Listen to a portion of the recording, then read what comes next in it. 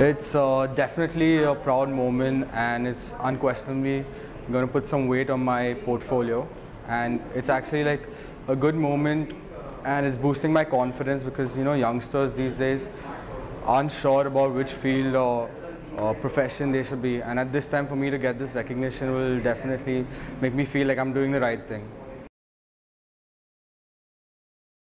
When as soon as I joined in, like people would always tell me whenever I would not achieve something or I face denial, people always tell me, you're so young, you have a long time to go.